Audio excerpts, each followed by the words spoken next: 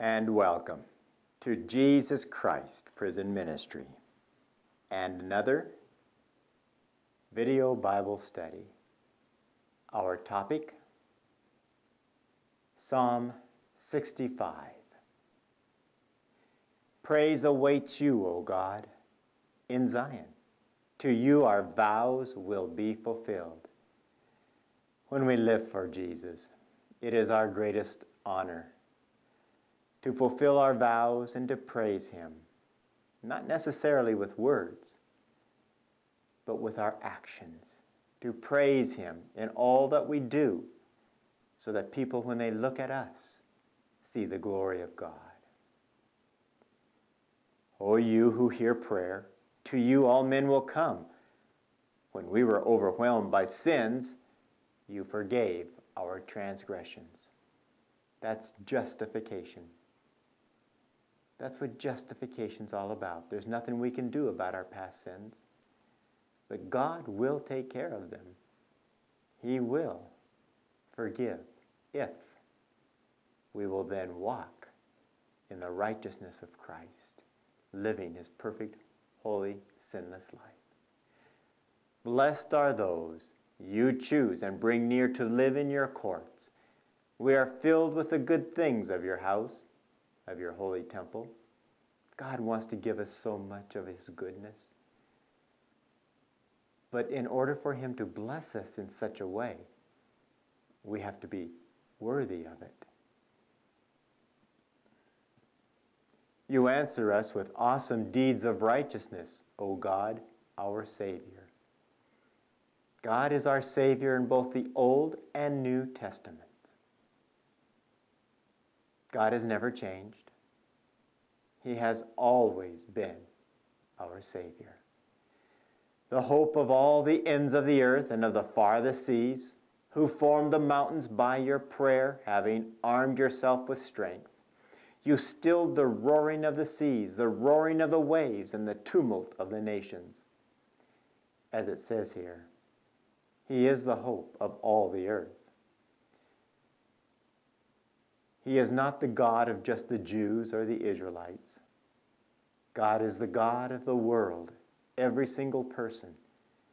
He created Adam and Eve, who were the father and mother of the entire human race. It is up to us to become members of His family. We can be adopted in if we will just be obedient to the rules of His family in verse 7 who stilled the roaring of the seas, the roaring of their waves, and the tumult of the nations. Do you remember in the New Testament? The disciples were on the lake, and the storm came up. Twice, Jesus stilled the storm. He'll still the storm in our lives and among the nations if we will just give our lives to Him. Those living far away fear your wonders. Where morning dawns and evening fades, you call forth songs of praise. Where morning dawns and evening fades, it's the same as saying at the ends of the earth, from the east to the west. Everyone calls forth the songs of praise. You care for the land and water it, you enrich it abundantly. The streams of God are filled with water to provide the people with grain, for so you have ordained it. You drenched its furrows and level its ridges.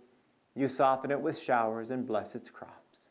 You crown the year with bounty, and your carts overflow with abundance. The grasslands of the desert overflow. The hills are clothed with gladness. The meadows are covered with flocks, and the valleys are mantled with grain. They shout for joy and sing. The reason the world is going through so much turmoil as far as nature goes, with the droughts, with the hurricanes, the forces that are destructive, and the fires and earthquakes, you name it. It is because man has taken the glory from God has taken the praise from God and given it to Mother Nature or evolution or science. So God said, All right, if you don't love what I do, I'll take my blessings and leave. But I'll be here waiting for you when you realize that I'm the one who provides. And when you come back and humble yourself and accept me as your God, then I can provide. The world is only going to get worse until man realizes that only God can solve our problems and provide. Science won't do it. Today, look around and see all the blessings and praises that God offers us. Let's accept them and praise Him.